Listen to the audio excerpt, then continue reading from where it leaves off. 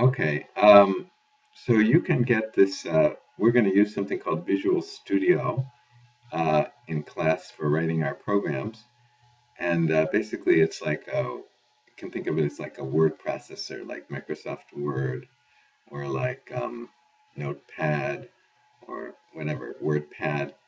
So it's just a place to type, but uh, it's really good for writing programs. So we're going to use it, and uh, you can get a free copy from the Media Center, and uh, I think uh, they will give you a CD which you can put into your computer, and I don't know if they'll give you the, the CD or just lend it to you. Uh, but anyway, you can um, install Visual Studio on your computer for free, and it's uh, I think it's quite expensive if you buy it. I think it's more than it's like a couple hundred dollars, maybe. I'm not sure. So getting it for free is great.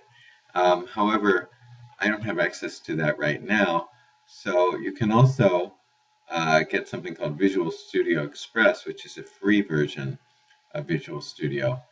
It uh, has some limitations in terms of what, what it can do, but for almost everything we want to do, it's it's fine. So you can uh, look this up. Hey, this probably is wrong, actually.